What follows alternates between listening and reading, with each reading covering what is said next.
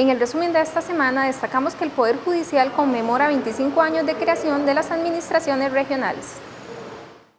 La Dirección Ejecutiva y las administraciones regionales del país realizaron esta mañana un acto de conmemoración del 25 aniversario de la creación de las administraciones regionales en el país.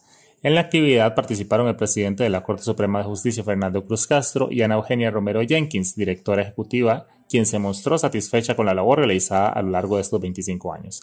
Actualmente el Poder Judicial cuenta con 22 administraciones regionales que tienen por objetivo apoyar los despachos judiciales con el propósito de que estos realicen su labor sustantiva de manera ágil y efectiva.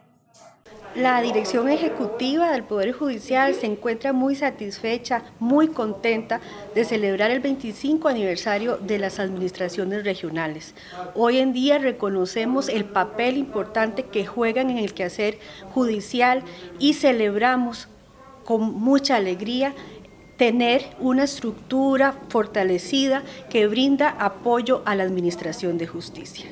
El Poder Judicial expone presupuesto para el año 2021 ante la Comisión de Hacendarios de la Asamblea Legislativa. El presidente de la Corte Suprema de Justicia, Fernando Cruz Castro, presentó ante la Comisión de Asuntos Hacendarios de la Asamblea Legislativa el presupuesto de este Poder de la República para el año 2021. Según se detalló, el monto total del presupuesto ordinario del Poder Judicial para el próximo año es de 462.705 millones de colones, registrando así una reducción porcentual de 2.1% con respecto al año en curso.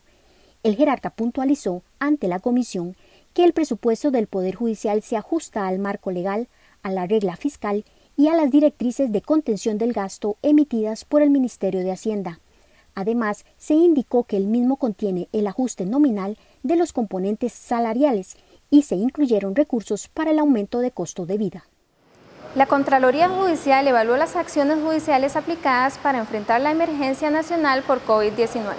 Esto mediante la aplicación de encuestas realizada a personas usuarias en servicios presenciales, electrónicos y virtuales. Entre los principales hallazgos se destaca que el servicio presencial recibió una calificación favorable del 82% en el promedio general, donde Guanacaste y Limón alcanzan el mayor porcentaje con un 89% y la provincia de San José con un 70%. Las medidas sanitarias implementadas para garantizar la salud de las personas usuarias y servidores judiciales son valoradas con altas calificaciones, un 89%, y las hacen sentirse seguras.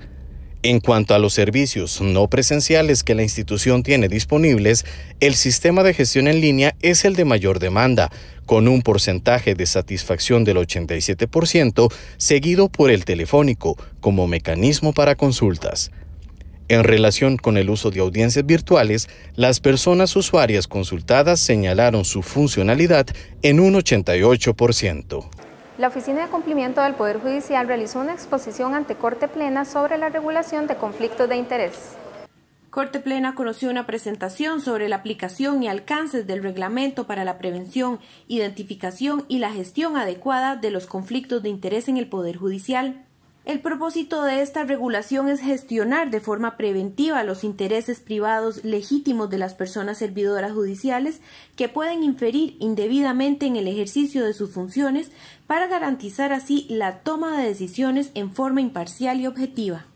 La exposición estuvo a cargo de la oficial de cumplimiento Kenia Alvarado Villalobos, quien puntualizó un conflicto de interés puede derivar en una falta administrativa cuando no se gestione o la persona nos lo identifique, ¿verdad? Y no cumpla con su deber de revelar el posible conflicto de interés y de abstenerse de actuar bajo una causal de conflicto de interés.